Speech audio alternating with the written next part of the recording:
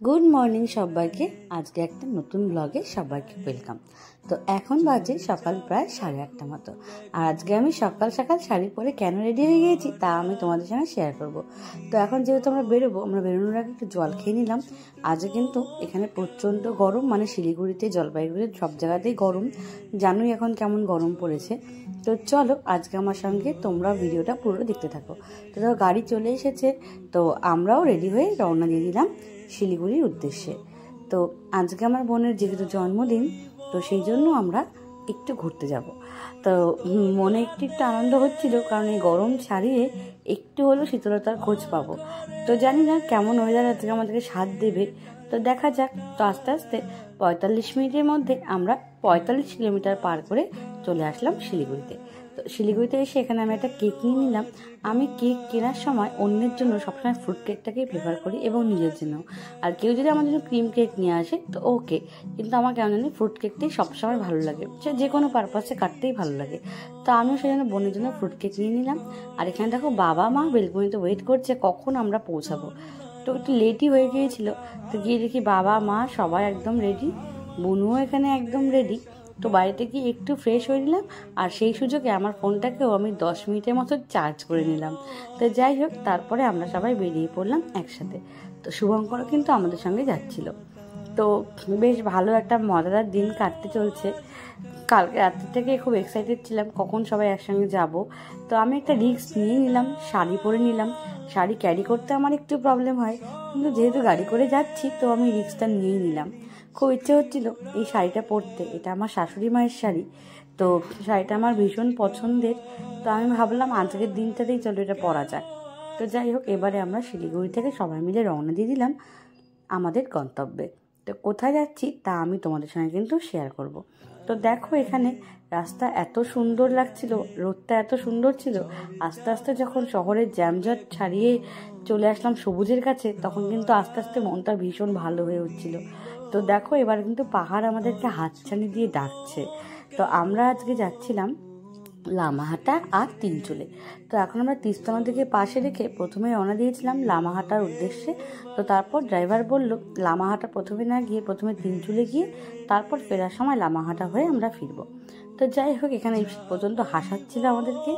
তো যাই হোক, আর পাশে এত সুন্দর দৃশ্য দেখতে দেখতে আমরা এগিয়ে যাচ্ছিলাম আমাদের গন্তব্যের দিকে। তো তোমরা সঙ্গে থাকো আর পুরো ভিডিওটা দেখতে থাকো।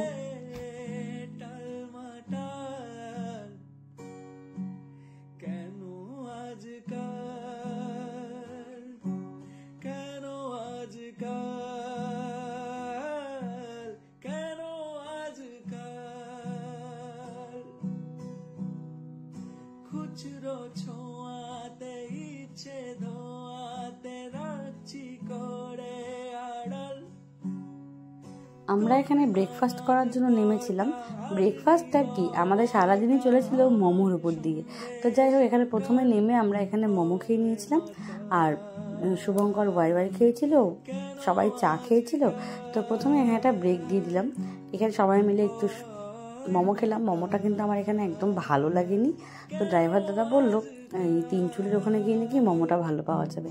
এখানে যদিও চিকেন মোমো অ্যাভেলেবেল ছিল না, তো ভেজ মোমো খেয়েছিলাম। মোমোটা খুব একটা ভালো ছিল না। তো বাবা এখানে ডিমের অমলেট খেয়েছিল। আর শুভঙ্কর, দেখো, ডিম অমলেটের সঙ্গে ওয়াই ওয়াই দিয়ে খেয়েছিল। এটা কিন্তু আমি ফার্স্ট টাইম দেখলাম। ওয়াই ওয়াইটাকে মানে সেদ্ধ করা ছিল না। নর্মাল ওয়াই ওয়াই দিয়ে ডিম অমলেট দিয়েও খেয়েছিল। তো এটা আমি একটা ভিডিও নিয়ে নিয়েছিলাম। শর্টসও করে নিয়েছিলাম। এটা বেশ ভালো লেগেছিলো আমার দেখতে। তো চলো, এবারে দেখা যাক বাকি সময়টা আমরা কীভাবে কাটালাম। চর্চা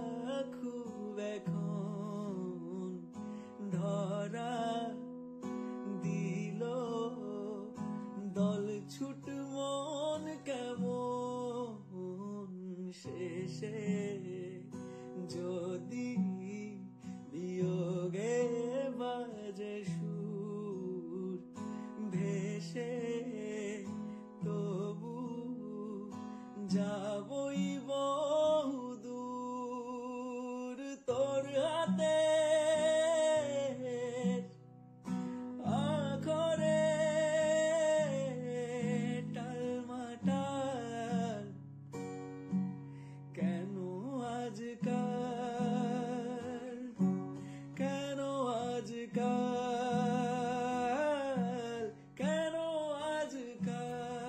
চোখের আরামটুকুই জন্য কিন্তু এত দূরে আসা। পাহাড় যারা যারা ভালোবাসে, তারা কিন্তু এই আরামটুকুর জন্যই আসে। এত সুন্দর লাগছিল আর পাহাড়ের গায়ে গায়ে এত সুন্দরভাবে চা বাগানগুলো ছিল, তোমরা কিন্তু অবশ্যই প্রত্যেকে তিন চুলে একবার ভিজিট করতেই পারো। আমি জানি তোমাদের প্রত্যেকেরই কিন্তু ভালো লাগবে।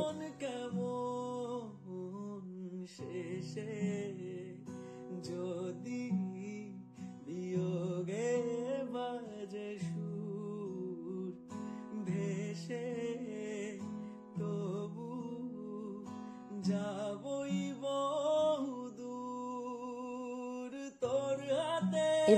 গাড়ি থেকে নেমে তিনচুলের ভিউ পয়েন্টের দিকে এগিয়ে যাচ্ছিলাম।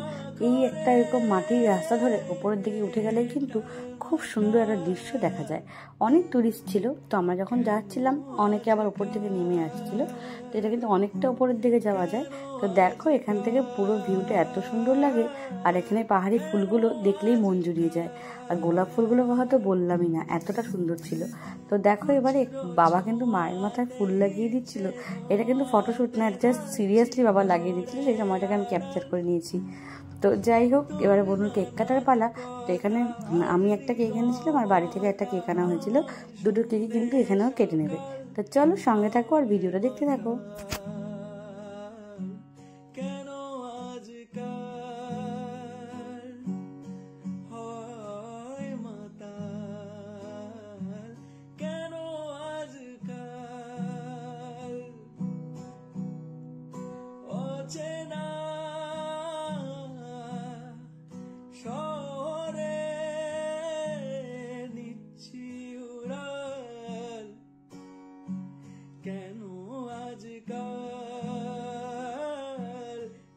এবারে আমরা চলে গেলাম ঠিক উল্টো পাশে একটা দোকানে, যেখানে মোমো ছিল। এইখানকার মোমোটা কিন্তু খেতে জাস্ট অসাধারণ ছিল।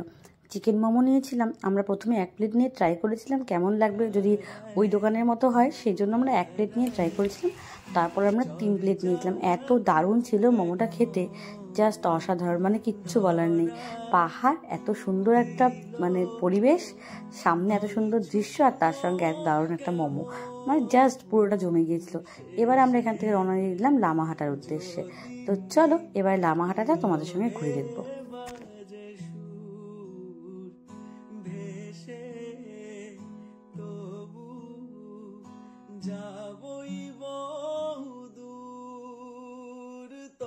দেখো গোলাপ ফুলগুলো কি সুন্দর না?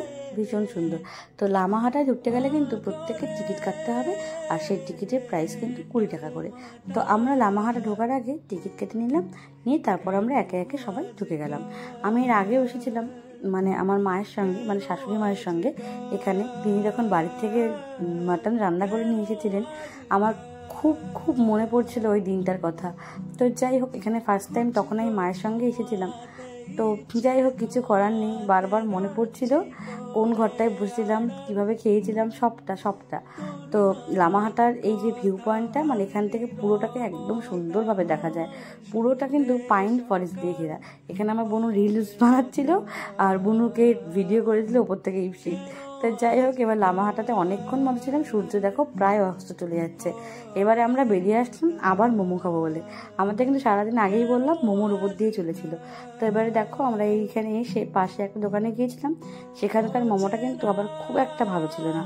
যেমন আমরা তিনজুলেতে খেয়েছিলাম, ওটা কিন্তু বেস্ট ছিল। তো এখানে গিয়ে আমরা প্রথমে কেমন হবে বুঝতে না পেরে এক প্লেট অর্ডার করেছিলাম। দেখার জন্য মোমোটা কেমন, কিন্তু আমাদের খুব একটা ভালো লাগেনি। তো বাকি সেজন্য আমরা আর সেখানে আর মোমো নিই সেখান থেকে এবার আমরা বেরিয়ে গেলাম বাড়ির উদ্দেশ্যে। তো সঙ্গে থাকো আর বাকি ভিডিওটাও দেখতে থাকো।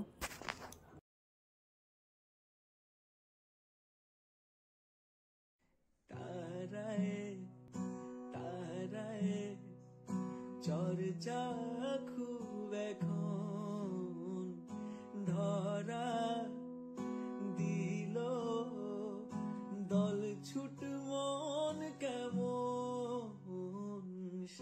শেষে যদি বিয়োগে বাজে সুর ভেসে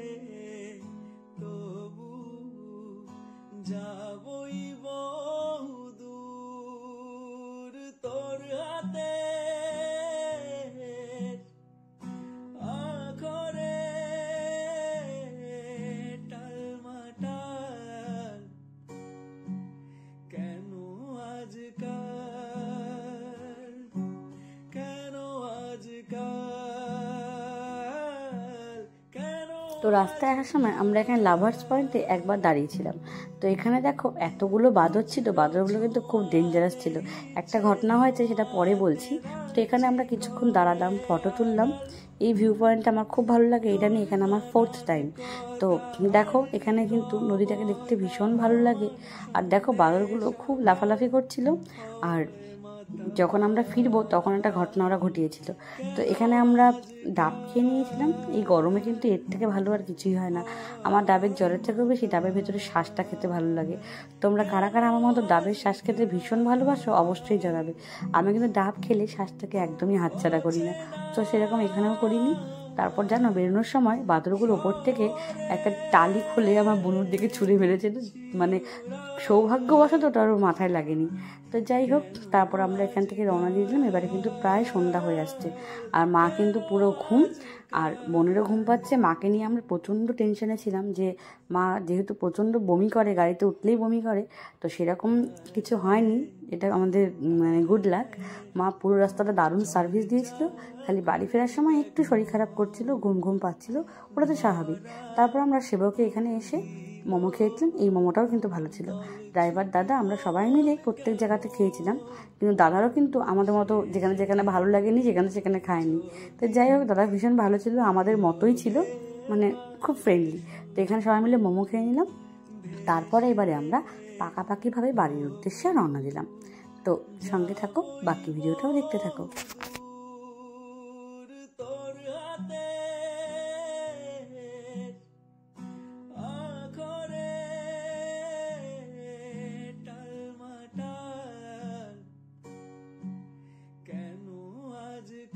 এবারে বাড়ি পৌঁছে গেলাম, বাবা মা একদম ফ্রেশ হয়ে নিয়েছে আর সবাইকে বাই বাই করে এবারে আমি রওনা দিলাম জলপাইগুড়ির উদ্দেশ্যে।